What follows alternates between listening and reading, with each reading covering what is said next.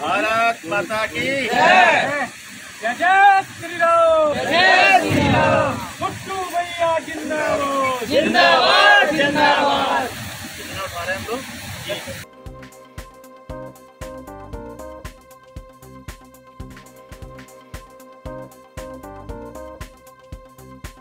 अखिलेंद्र कुमार खेती करता हूँ मैं। हम लोग यहाँ पे बहुत परेशान थे पानी के लिए।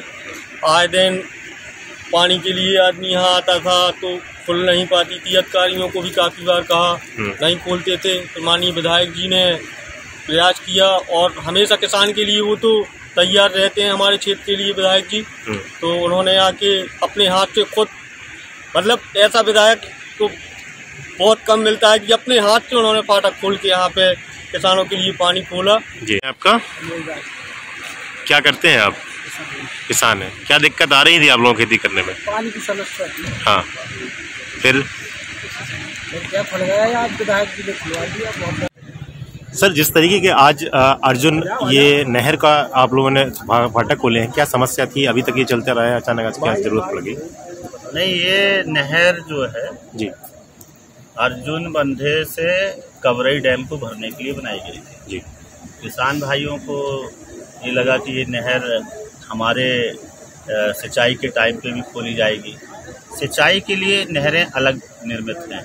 जी। जिनसे किसान जो है सिंचाई कर सके। ये सिर्फ़ बंधे को भरने के लिए बनाई गई। जी। तो ऐसे में हज़ारों किसानों ने जो है उसी के अनुसार गेहूँ और मटर की जो है बुवाई जुताई कर दी थी। अब वो आस लगाकर बैठे थे कि हमें ये पानी मिलेगा नहर छूटेगी।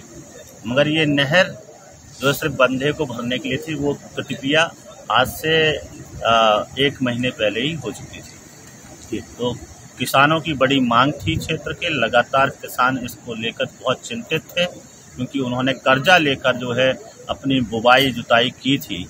और अगर ये नहर नहीं खुलती तो हज़ारों किसान जो है बर्बाद हो जाता कर्ज में डूब जाता। इसलिए उनकी किसानों की मांगों को ध्यान में रखते हुए मैंने खुद आकर यहाँ पर जो है इस नहर को चालू करने का काम किया है। जी। जैसे कि बताइए जी कितने दिन तक के लिए खोली गई है अभी? ये हम लोग दो दिन इसको चला देंगे तो इतना पानी मेंटेन हो जाएगा कि 10 दिन तक जो है किसान इससे आराम से सिंचाई करेंगे और 10 दिनों में जो है किसान भाइयों की जो आवश्यकता के अनुसार जो है पूरी सिंचाई हो जाएगी और हमारे किसानों की जो मुसीबत है वो ख़त्म हो जाएगी।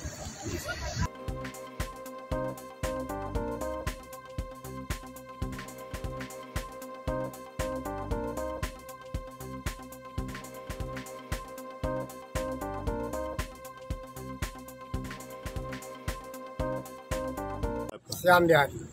क्या समस्या आ रही थी आप लोगों को सिंचाई को लेकर? क्या दिक्कत है? साहब वहाँ पानी नहीं पहुँच रहा हो तो मटर हमारे सूख रहे थे। तो इससे हम आप पंद्रह पंद्रह दिन मशीनें ऐसी पड़ी है और ठंड पड़ रही थी तो हाँ, हाँ। में फिर हमने कही है कि भैया और नहर खुल जाता ठीक रहा है। हाँ। तो देखो आज खुल गई है नहर। अच्छा किसने खुलवाया? विधायक जी। विधायक जी ने। विधायक जी ने खुलवाई। नाम धीरेन्द्र राजपूत। क्या करते हैं आप? खेती करते हैं। कहाँ पर रहते हैं? अक्षौहाना जी क्या समस्या आ रही थी आप लोगों को पानी को लेकर? पानी नहीं हो मिल रहा था। और इससे हमने मटर की फ़सल है गेहूँ की फ़सल बोई हुई थी चने की फ़सल बोई हुई थी। हाँ। इसलिए हमने एसडीएम साहब को सिंचाई विभाग में जब कहीं सुनाई नहीं हुई तो हमने माननीय विधायक जी के यहाँ गए। हम्म। तो उन्होंने हमारी समस्या का समाधान किया और नहर को खुलवाया।